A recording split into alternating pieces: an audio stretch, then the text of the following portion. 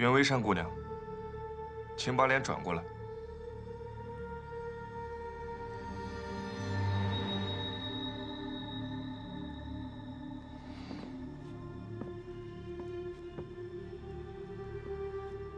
你说害怕传染，那为什么云微山姑娘不在自己房间休息，却要来你房间？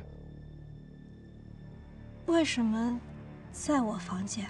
是啊，我问你。这都不知道，什么意思？你难道不知道上官家世代名医？俺们家的紫韵祛毒膏可是出了名的一件难求。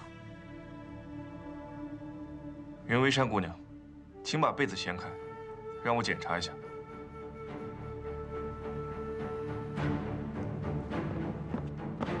你们胆子也太大了吧！你们闯进闺房也就算了，现在还要掀被子，知不知道将来我们是你们谁？得罪了。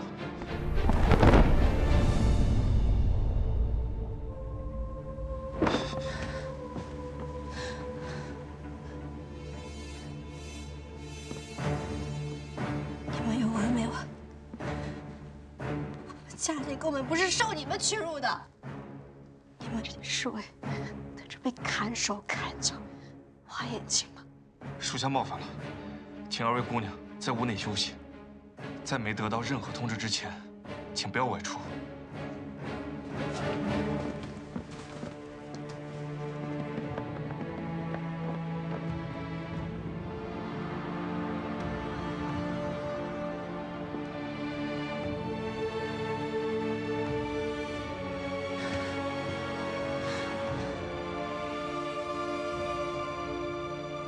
差不多了。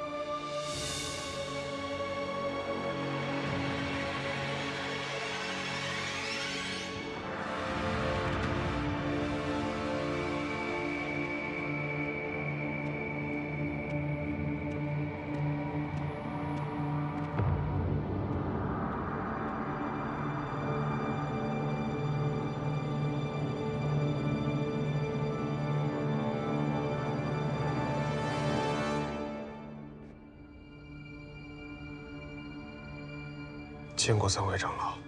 仇者入侵，只认和少主两人遇难。按宫门家规，长老院一致决议，紧急启动，缺席继承。继承人与公次子公子羽，即刻继职任位。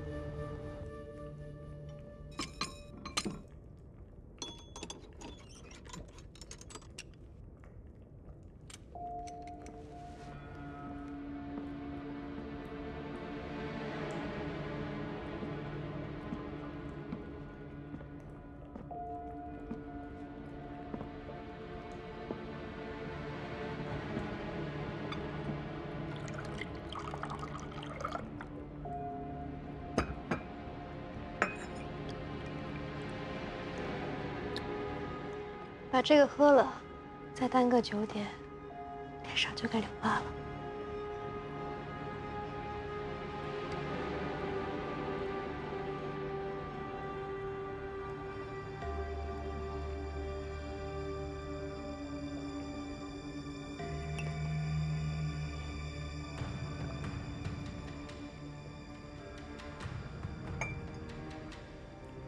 天地玄黄。魑魅魍魉，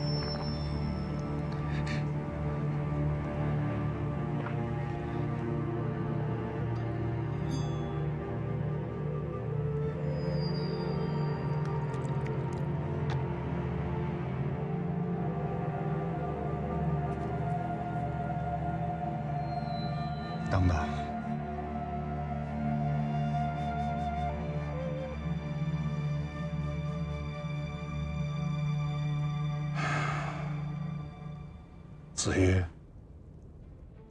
你此刻或许还不清楚，此这些密文意味着什么，你将要面对的是什么。但我必须告诉你，密文自完。你便终身不能离开九尘山谷，往后余生只能居于此地，为宫门生，宫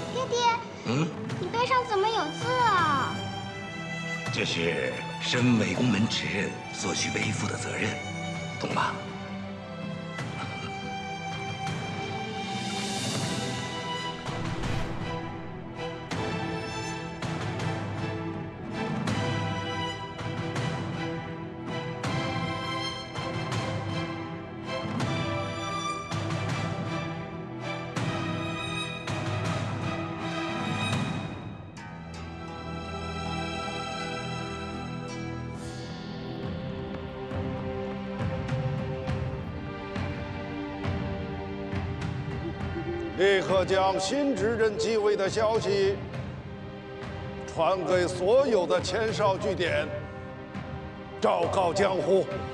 是。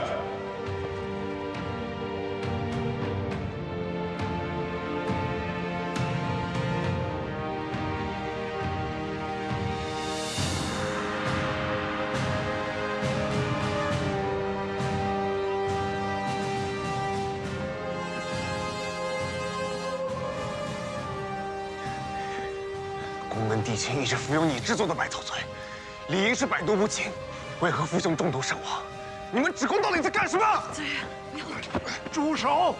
元直，不可对执任无礼。执任？就他？元直，荒唐！公子羽也配做执任？第一顺位继承人应该是我哥哥宫尚爵。宫门初代执任定下的两条家规：其一，宫门不可一日无主；执任一旦死亡，必须第一时间继位。其二，如若执任与继承人同时死亡，则必须立刻启动缺席继承。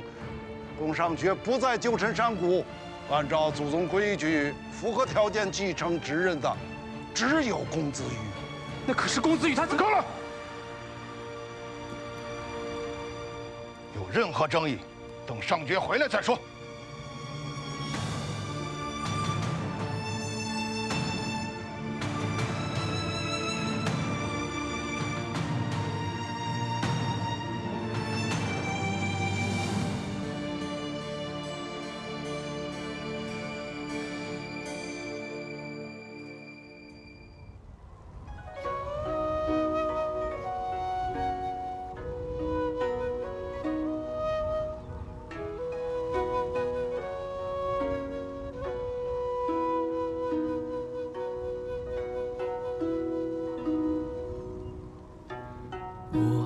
会见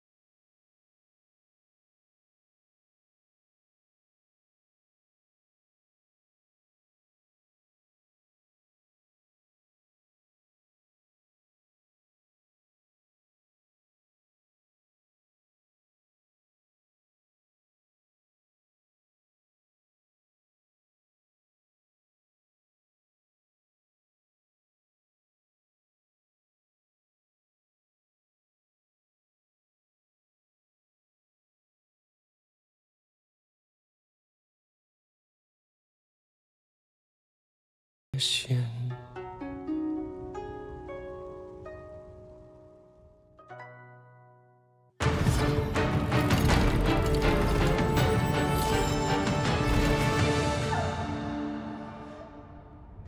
宫门执刃被杀，消息确定吗？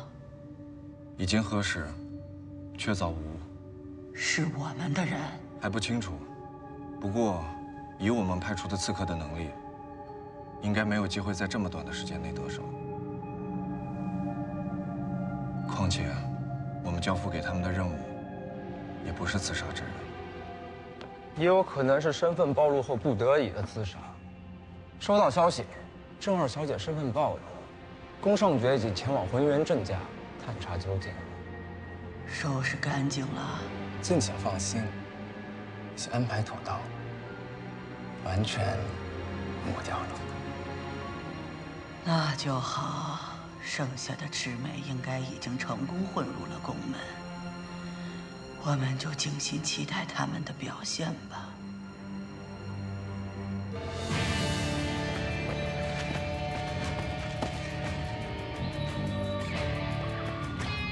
郭二先生，整个大宅已经人去楼空，所有财物也都已不见。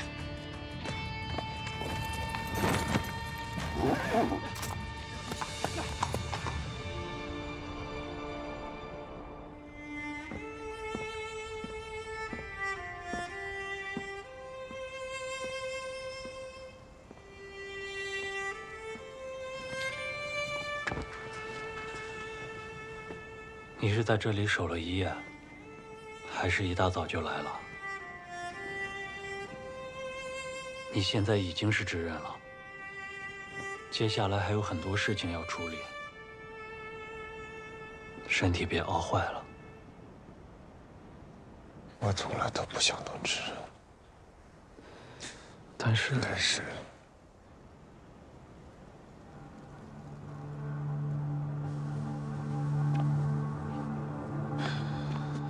既然我现在已经是执人，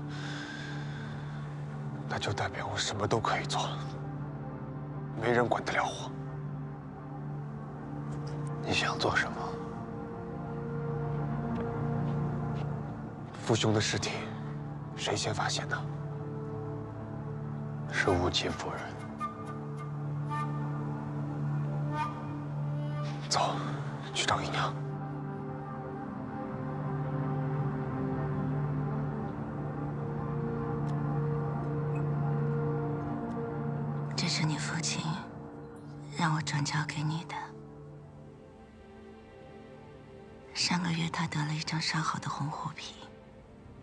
给少主做了一件外袍。剩余的部分，特意给你做了这个。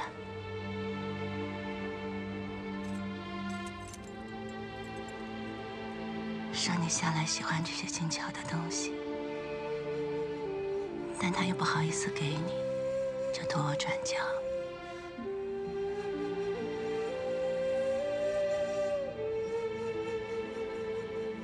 你父亲向来都是嘴硬心软，其实上次抓女刺客的事，他后悔说了重话，又不好意思向你道歉。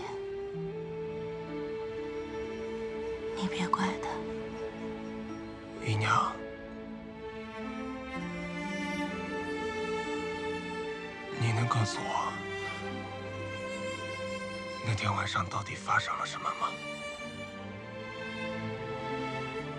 当晚，我在知人房间陪他，帮他温茶，然后少主就带了一个被绑住的女子来见知人，我自然起身回避。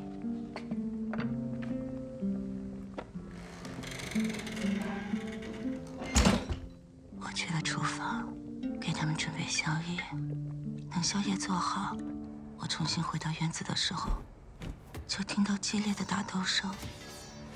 透过窗户，看到窗内有三个打斗的影子。几声剧烈的撞击之后，屋里变得一片漆黑。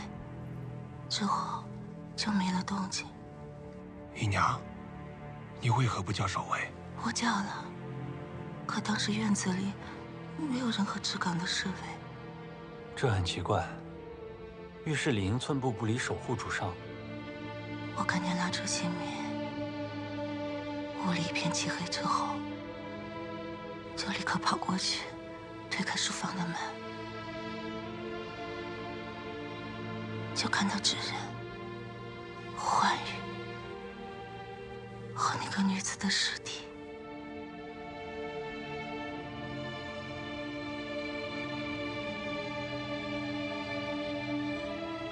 我见过那个女刺客，以她的武功，要说父亲和哥哥都死在她的手上，我不信。可那女刺客用了毒，应该是趁你父兄不备，偷袭得手。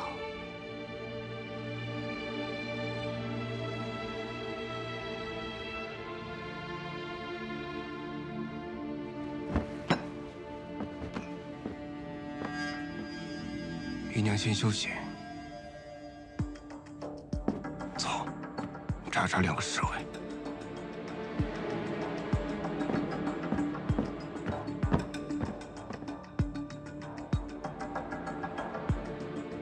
当晚，执刃先是见了绝公子，然后羽少主突然来了，说是要紧急求见执人。三人在房内待了一会儿之后，绝公子就立刻出了宫门。绝公子连夜离开了旧城山门。马上大婚了，怎么还要出去？谁要出去啊？宫二先生，而羽少主则是去地牢提审女刺客，带来见了之人，并命令我和绿御史先行离开。羽少主交代有要事和执人相谈，命令我和金玉先行离开。他们俩也不知道会不会说谎。有个人一定不会说谎，死人绝对不会说谎。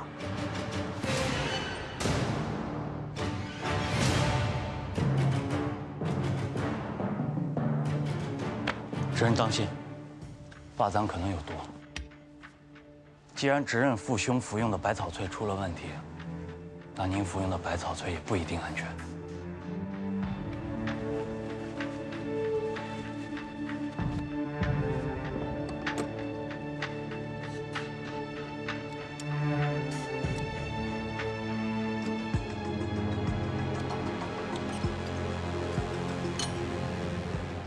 发簪上的珠花乃是空心，这图就藏在珠画之中。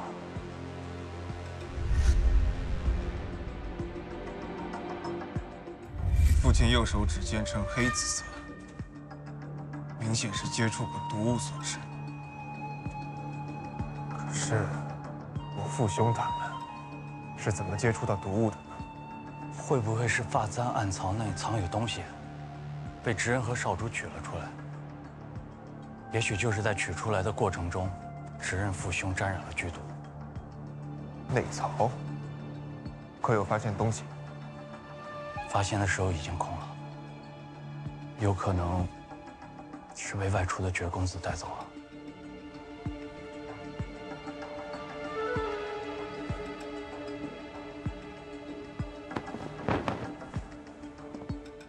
女刺客的尸体上有毒药腐蚀的外伤，但并不致命。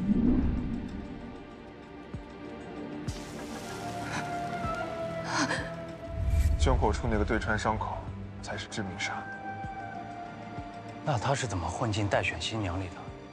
她是混元郑家的女儿，郑南一。但这郑二小姐身份是真是假，现在还不得而知。昨晚事发当时，女客院落可有查过？第一时间就派了侍卫前去查看，所有女客都在院中，没有外出。不过，有两名新娘中毒了。哪两位？恰好就是拿到金色令牌的两位新娘，江黎黎和云为山。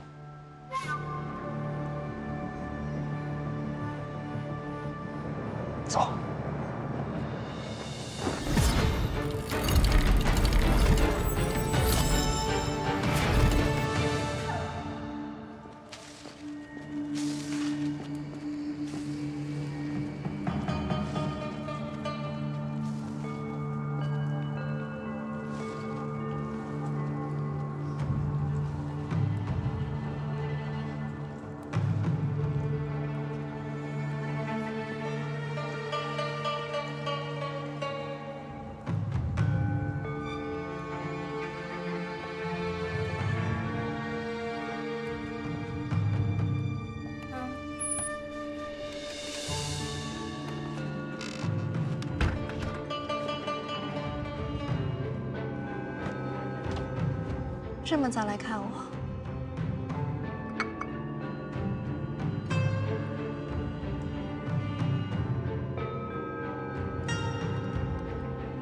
你想多了。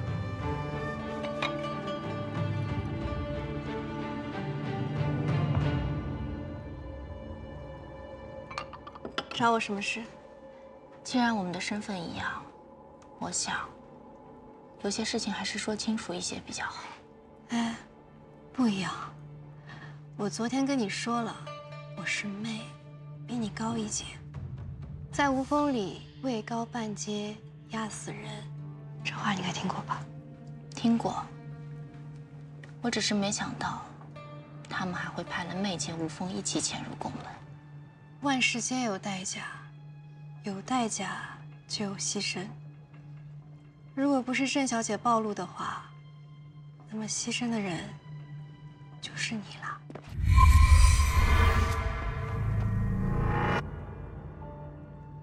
她也是妹，她那么蠢，怎么可能是妹？所以之后只有我们两个一起执行任务了，是吗？还有其他人吗？鸦雀成群，孤鹰在天。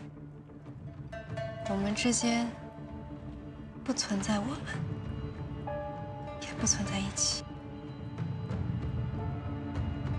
清楚了。等等，你昨晚潜行外出，有打探到什么消息吗？昨晚我救了你，你至少应该告诉我，到底谁死了？你怎么知道有人死了？那么多白色天灯升空，仆人端着蜡烛、法式器皿往外走，我又不瞎，怎么可能看不出？执刃和少主两个人都死了，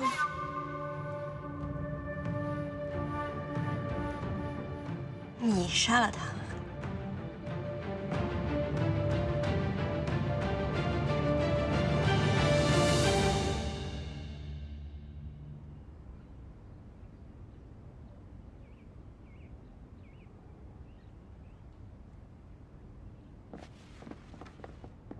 大夫，这姑娘她中的什么毒啊？有些复杂，感觉像是同时中了好几种毒。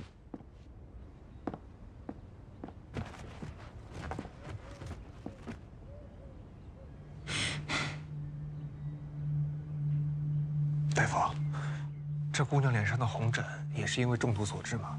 对，而且是一种烈毒，发作很快。但江姑娘在昏迷时又胡言乱语的，感觉又好像是中了伤神攻心的寒毒。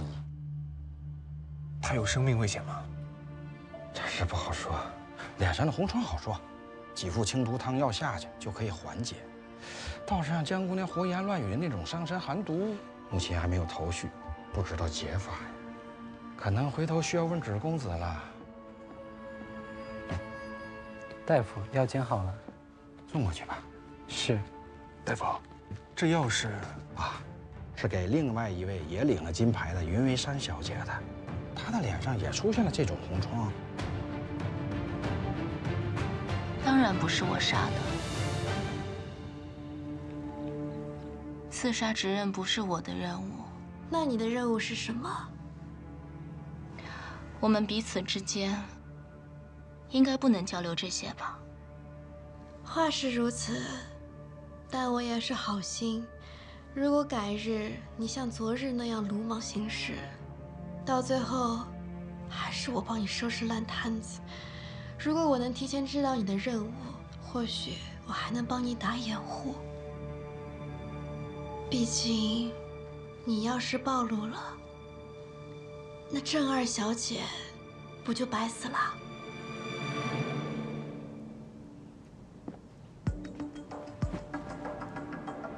姐姐，我也是好心，你别多想。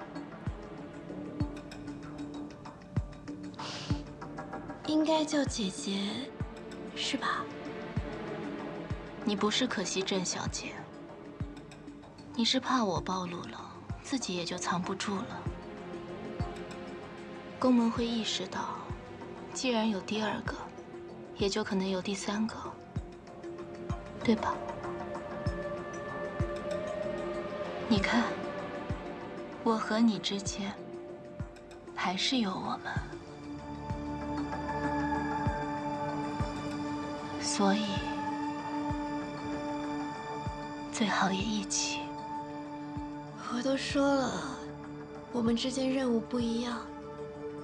你给江姑娘喝的茶里下了毒，你想取代她，我们的任务应该是一样的。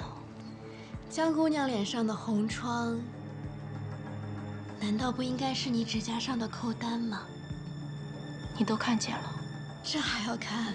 这不是吴峰的基本训练吗？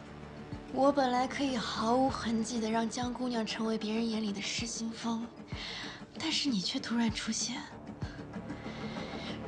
如果我猜的没错的话，过不了多久，我又要帮你收拾烂摊子了。大夫，这两位姑娘所中之毒和执刃所中之毒有什么关联吗？没有关联。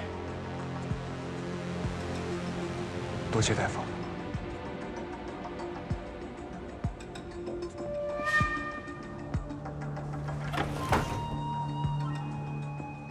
江姑娘所中之毒，既然和执刃少主之子没有关系，那我们还去女科院喽？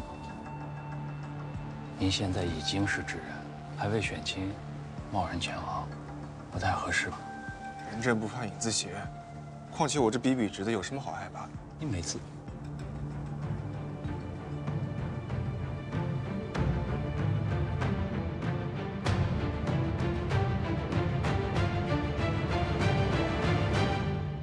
我给江姑娘的茶里没有毒，那就是熏香。熏香也没有毒，但是喝完茶之后，再吸入香，就不一样了。起初只是神志不清，过不了几日就开始喃喃自语，仿佛一尘。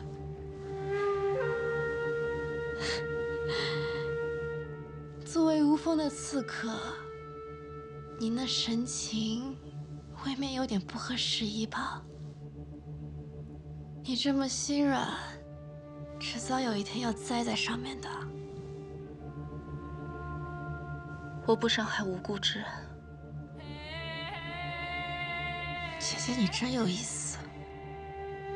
说回我那熏香和茶，单独来看都是无害无碍的，就算派人查，也无从查起。我本是好心提醒你，这茶已被我动了手脚，不要喝，但是你却自作聪明，弄巧成拙。现在好了，江姑娘脸上的红疹和你指甲上的扣单，可都是铁证。我要是你的话，我现在就去把这指甲给洗干净。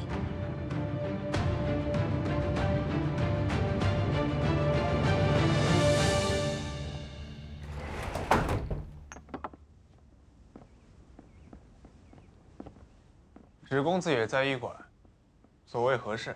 知人大人，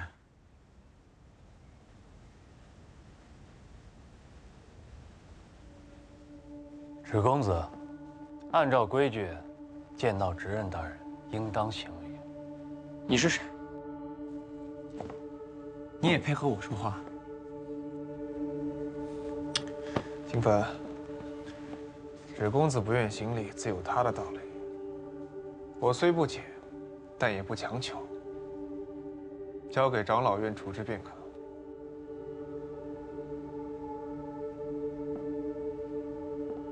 执刃大人，芷公子不便客气。芷公子专精炼毒解毒，且负责剖检我父兄的遗体，可有结果了？执刃和少主所中之毒是公家自己的毒药宋仙尘，此毒发作极快，若不及时解毒，必定身亡。芷公子的意思是，还是有法可解的喽？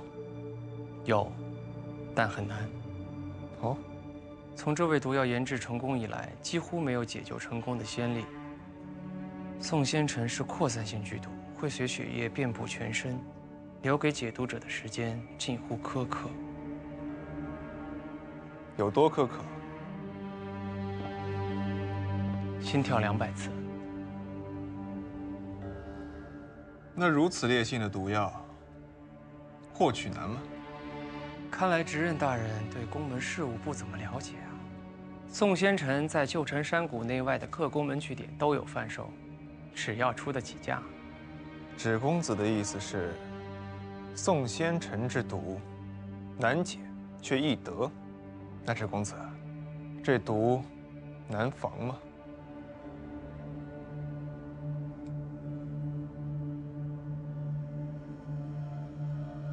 我不懂你什么意思。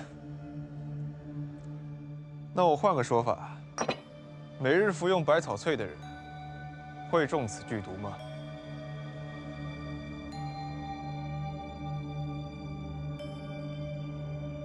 不会。那我父兄二人每日按时服用百草萃，却中了毒，那我是不是可以问责那些制作百草萃的人？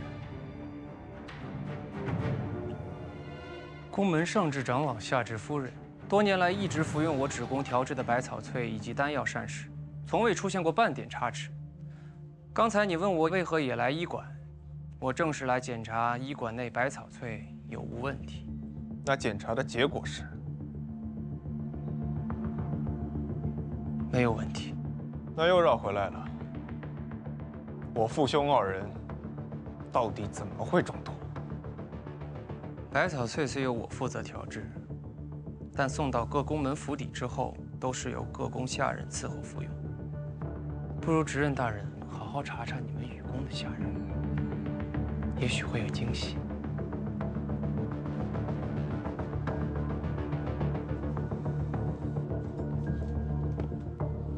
雨宫的人，我自然会查。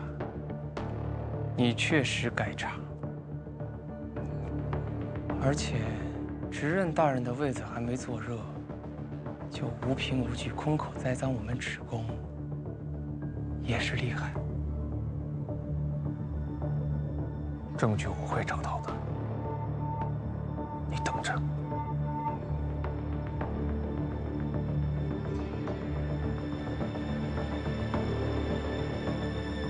既然执刃和少主同时遇害，那么宫门一定启动缺席继承了。缺席继承，你的寒鸦不会连这个消息都没告诉你吧？我只是吃惊，你不用高看我。你这以退为进，倒是有点噎着我了。缺席继承是宫门为了应对极端危机情况而立下的家法。简单来说，就是宫门不可一日无主，峡谷不可一日缺守。如果执刃和少主同时遇害，那么宫门峡谷内拥有继承资格的第一顺位便会立刻无条件成为新的执刃。所以，宫门现在的执刃。应该就是宫二先生，宫上爵了。现在的执人是少主宫焕宇的弟弟，宫子宇。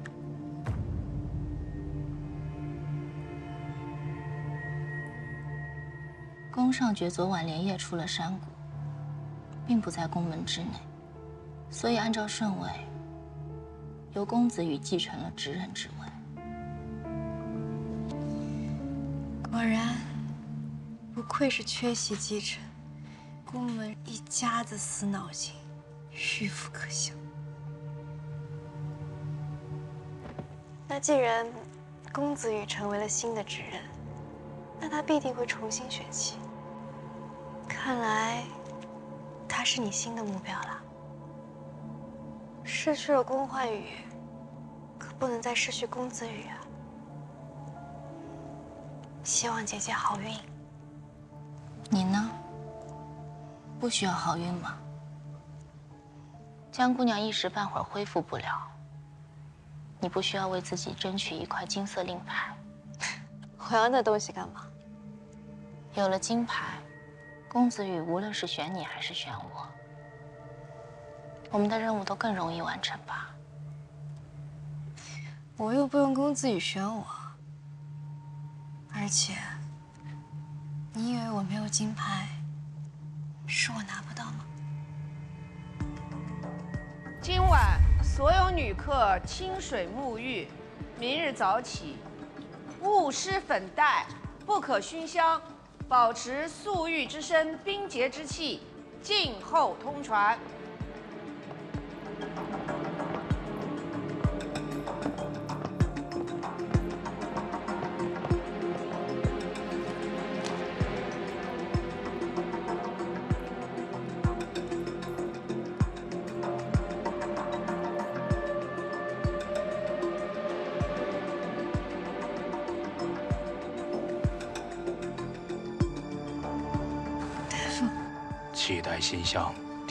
天寒，湿气郁结。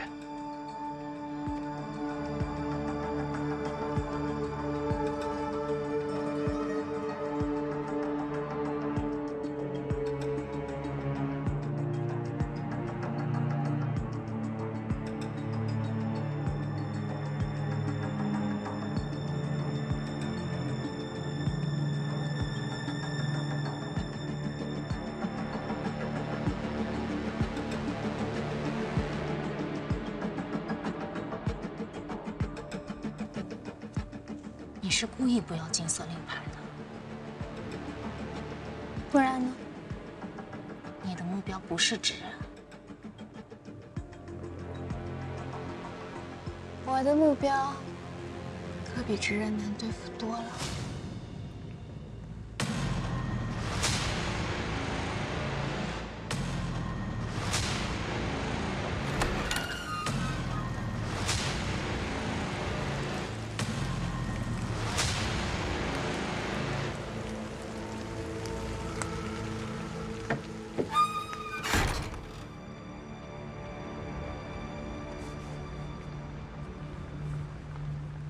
郑家已人去楼空，应是提前接到了风声撤离。另外，少主命我追查之事，暂无外泄迹象。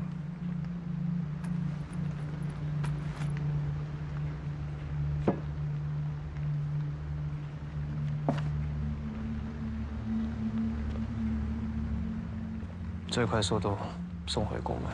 是，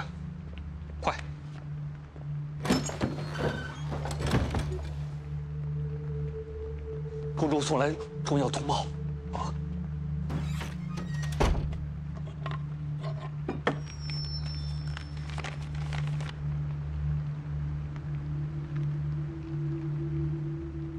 薛公子，你，这这你，是。天命不可辞据，群臣不可无主。今日任命公公子羽继之这位。臣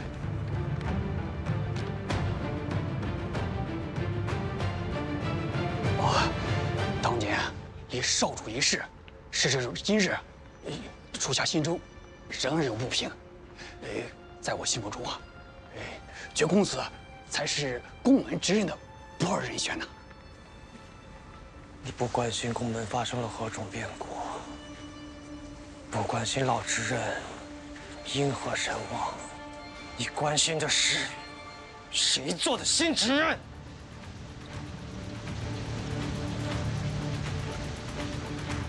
从今往后。你再敢有此种妄言，是我的马已奔波数日，疲乏困倦，去帮我找一匹最快的马。是啊。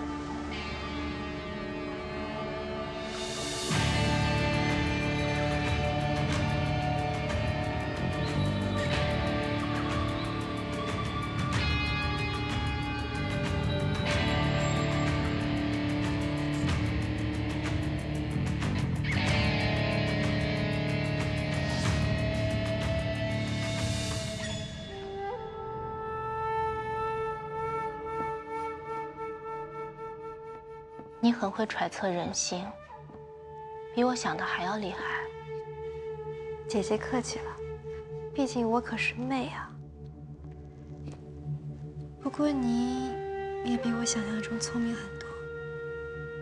我本以为你刚到宫门，环境生疏，第一晚就莽撞的夜行刺探，非常不妥。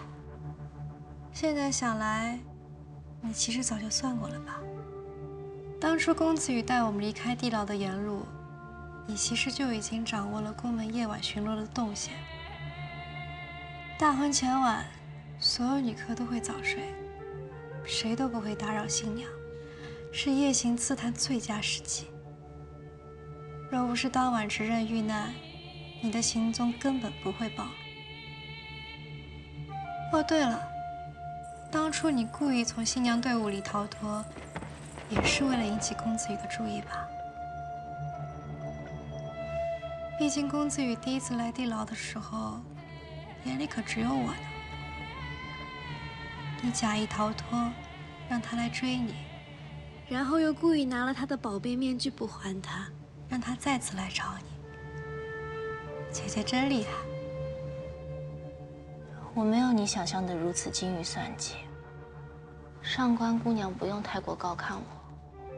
我只不过不想在半月之期到来之时，两手空空去见寒鸦而已。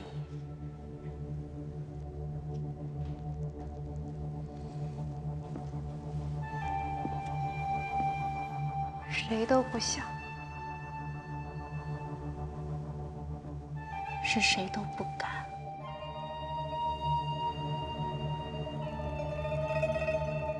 喝下这个。你就是真正的吃鸡了。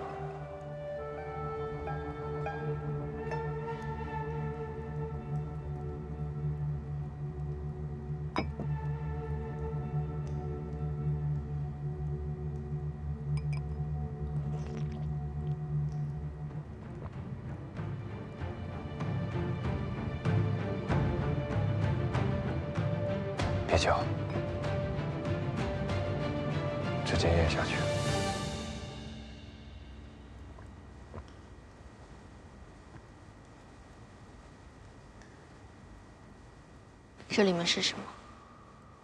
虫卵，是复古之影的虫卵，也叫做半月之影。用它制成的毒药，名为死士，意思是誓死效忠无风。这是魑魅魍魉的专属毒药，喝下它，复古之影会在你的体内寄生。平日里倒不会有什么影响，就是每隔十五日，必须要服一次解药。这次进宫门，不知道多久能回来了。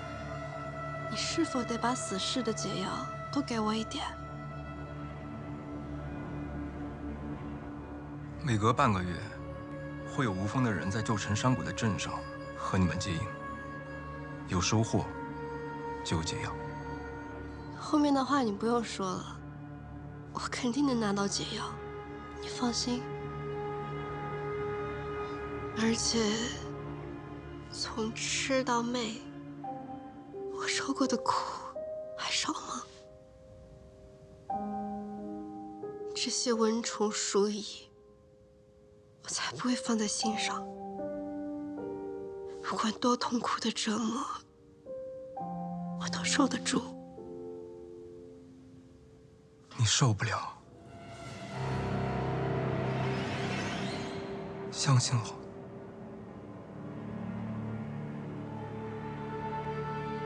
你受不了，所以一定要在半月之营的期限到达之前拿到重要情报，或者做出让吴峰满意的事情。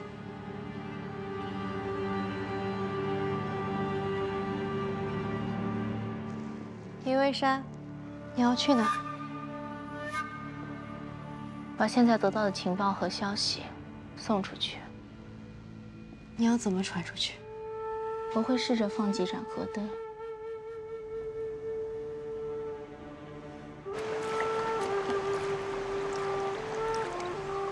等等，河灯？谁大白天的放河灯啊？金凡，你把河灯捞起来后去上游找人，如果找不到，就来下游找我。下游？为什么要去下游追？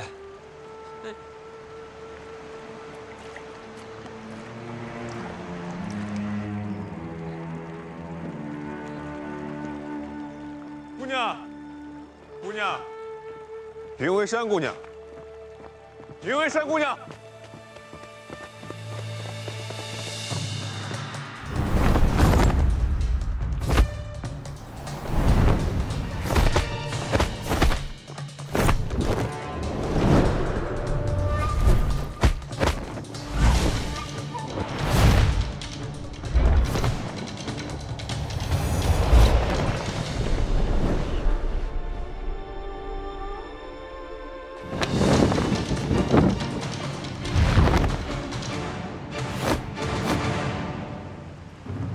山，果然是你！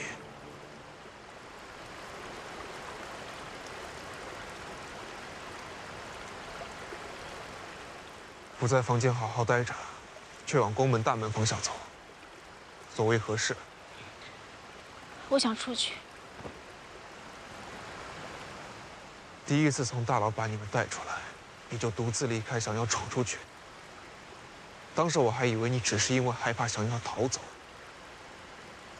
可如今刺客已经找到，风波平息，你还想要出去，到底是为何？我本就不想嫁入宫门，是母亲逼我的。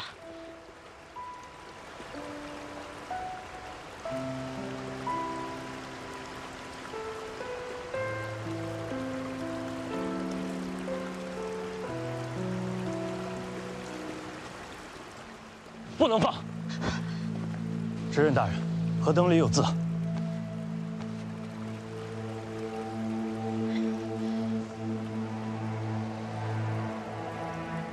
尹为善，河灯里写这么多字，是想让河灯漂流而下，把这些信息传到宫门之外吗？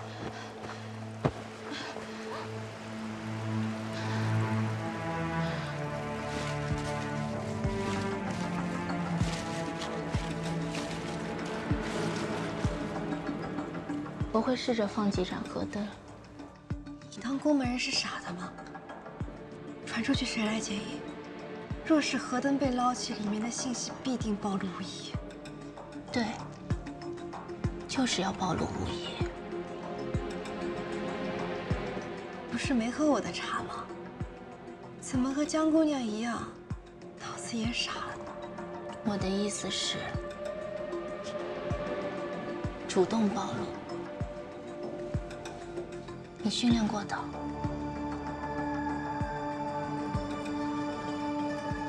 我明白了，在遇到暴露身份的危机之前，主动暴露一些并非致命的信息，且隐藏真正的计划和身份。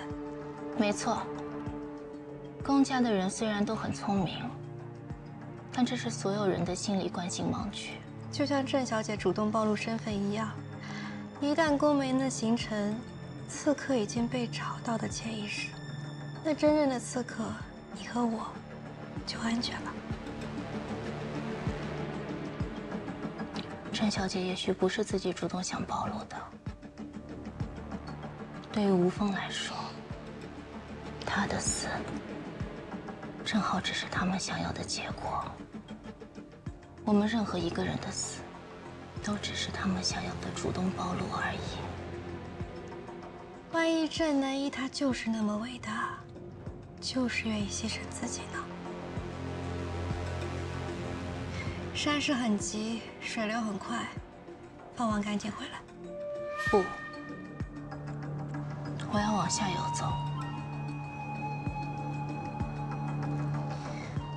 我明白了，你的目标自始至终都是直人，并非宫焕宇。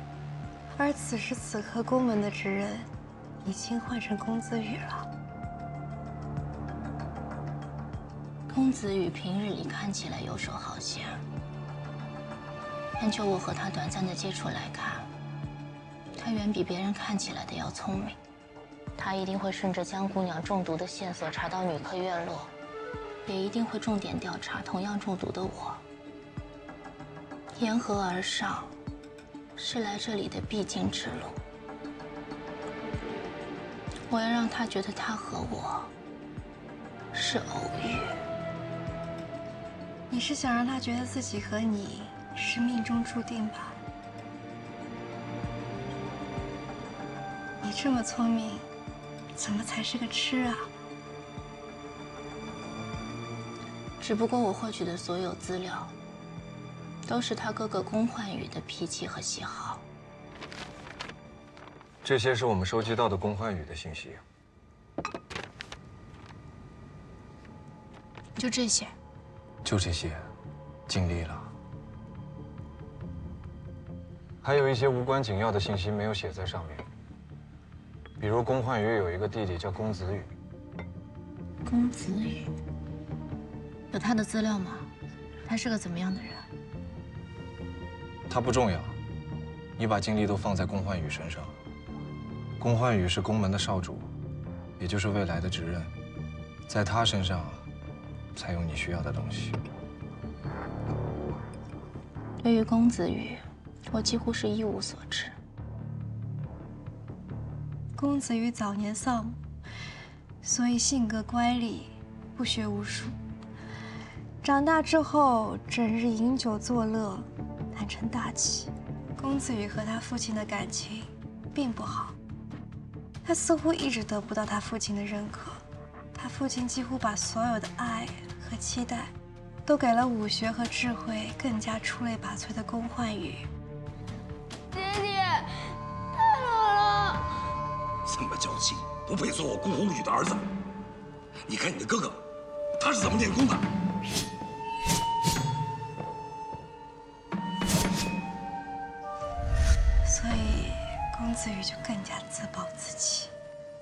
不过，宫焕宇倒是挺疼爱他这个弟弟的。我知道河灯里该写什么了。河灯是你放的吧？是。云姑娘真是聪明啊，知道如果河灯被人发现，一定会朝着上游去追，查找放河灯的人，你就故意朝下游跑，绕个远路再回去。可你知不知道这一路上岗哨暗堡到底有多少？你随时可能……不是，我是真的想出去。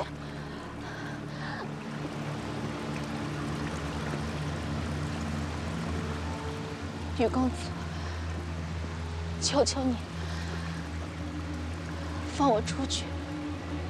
而且宫门中一直有传言，说公子羽并非宫家之子，他的母亲兰夫人在嫁入公家之前，已经有心上人，日夜思念，总是想着逃出宫门去，最终郁郁而终。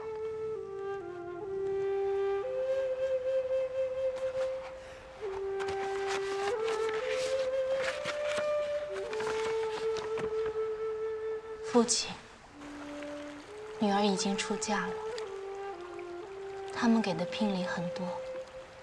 我想母亲应该不用再辛苦的做那些手艺活，艰难养家了。父亲，我知道你一直遗憾，没能有一个儿子可以光宗耀祖。你总是对我说，一定要嫁个好人家，让镇上的人都看看。云家的女儿是好福气的，但爹爹，我没有被知恩大人选上，可能要让您失望。这真的是写给你父亲的？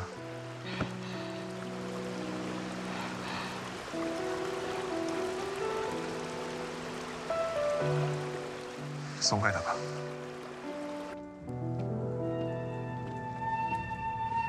不管你的任务是什么，如果你要离开这个院落，一定务必注意警戒路线。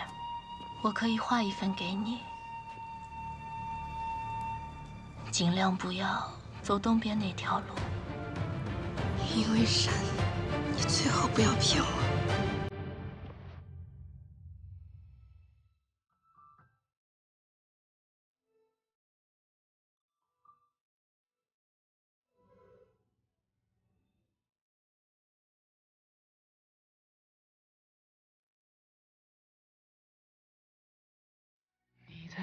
看见的记忆，闪着光，淋着雨。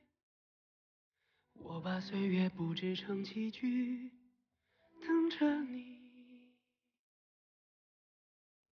每次相逢都是运气，每次离别都是叹息。缘分在等，刀锋在梦里留下的痕迹，像谜语，没谜底。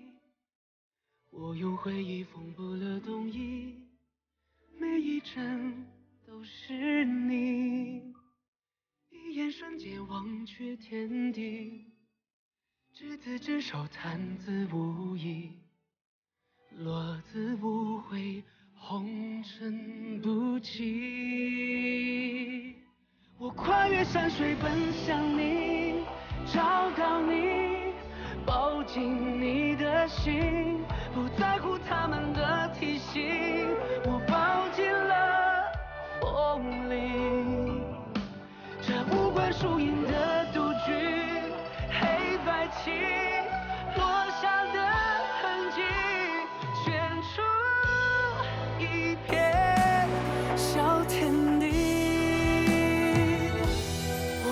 全力奔向你拥抱你呼喊你的名。撕开天地所有风雨斩断了命运。